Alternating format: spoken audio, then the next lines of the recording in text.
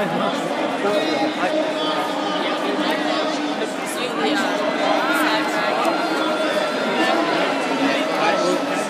on the.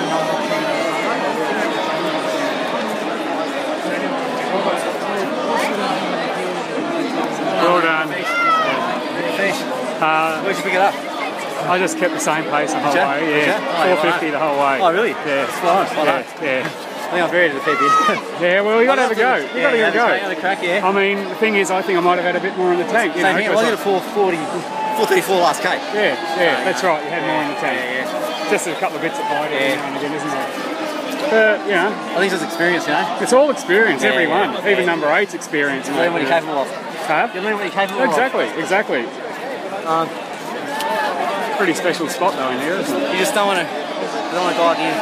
That's it.